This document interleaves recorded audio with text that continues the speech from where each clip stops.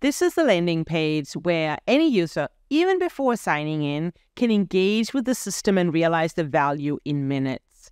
We provide sample data that will be loaded with a click of a button to ensure there's no friction in getting started. I'm really keen to show how Project Sophia can help me optimize the sales performance for my sales organization. So I'll upload my own local file uh, covering sales and pipeline data across my sellers. Now, Sophia is automatically generating what we call a blueprint. Um, it will take a bit, which you'll see is quite reasonable as uh, the system is literally performing work that would have taken me hours to accomplish without the power of Project Sophia. Under the covers, we put AI to work, doing deep analysis of the dataset and then preparing insights for presentation and next actions. This is the blueprint, the purple frame you see here. This is designed to help provide some structure to the AI powered research that is easier to navigate. The blueprint contains three columns of information. To the left, you see a textual overview, visual representations of insights in the middle, and a list of suggested next actions to the right. Every blueprint and all the information blocks within it are generated using large language models. And each of the blocks are optimized to deliver high value insights to the business that would have taken substantial effort to gain without the use of Sophia. To illustrate, if you look at something as simple as the text overview to the left, you will see that it is not only describing the data that you can find in the file, it also provides insights into the data that you wouldn't have able to be discovered by simply opening the file and looking at the data. Calculating the top accounts within each industry is an example of that. So aggregating data across industries, sellers, geographies are some of the ways that Sophia helps call out highlights in the data set. Looking at the visualizations in the middle, we always strive to provide two or three different visualizations.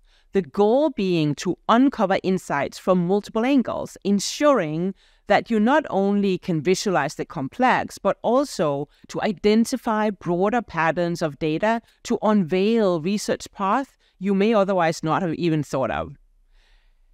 Here, for example, we illustrate the relationship between annual revenue and the pipeline for each sales rep, which really speaks not only uh, to a seller's current performance, but also his or her ability to ma- maintain performance over time. Here, Lena Powell stand out uh, quite significantly as a high-performing seller, both from a revenue and a pipeline perspective. Her performance is further amplified here in the second visualization, where the highest performing individual account also is owned by Lena. So, seller performance clearly making for an interesting area for us to dive further into to assess whether Lena represents working patterns that we can replicate and scale across the business to optimize the performance across more sellers. This first blueprint is where the journey starts, and once I've explored the blueprint and formed opinions, I can take action.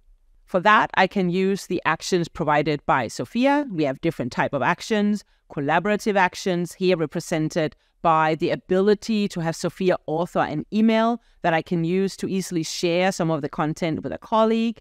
Alternatively, I can use explorative actions as a simple way to dive deeper into the data, building out multi fork research journeys. The explorative actions can provide suggestions to pull in external data like industry trends or competitive data when relevant for the particular context.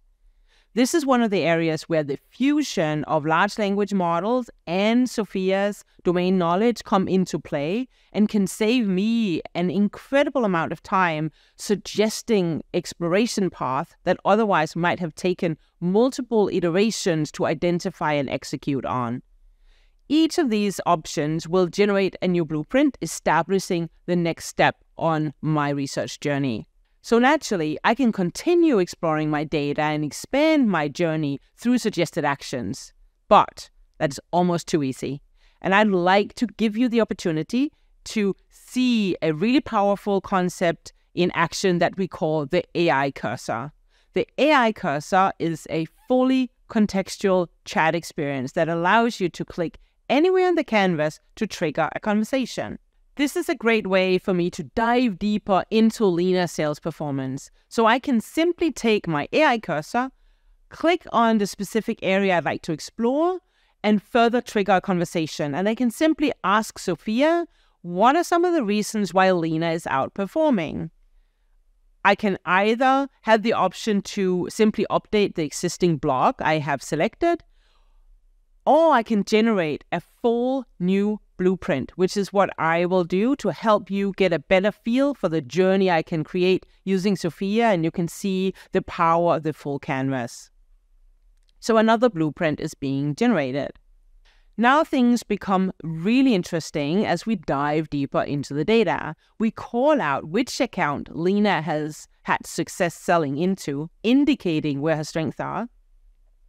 You can see she's focused on building strong customer relationships, but even more importantly, you can see that she has invested in building out strategic next steps and action plans for each one of her accounts.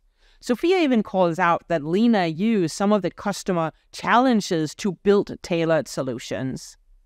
So, looking at the visualizations, they support the same findings, yet from another angle here allowing us to break out her revenue achievements across industries, allowing us to continue to discover broader trends within her performance.